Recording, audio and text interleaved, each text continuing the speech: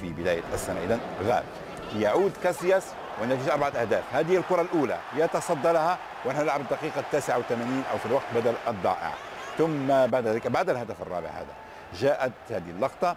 طبعا كابتن أنطونيو هذا هو كاسياس.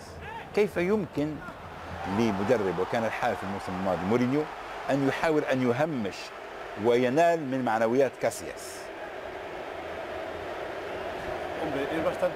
من الصعب جدا أن تفعل ذلك وأنا دائما أساند وأحب كاسياس يجب أن أعترف أن دييغو لوبيز يقوم بعمل رائع ولكن لم أرى أي أسباب قوية لكي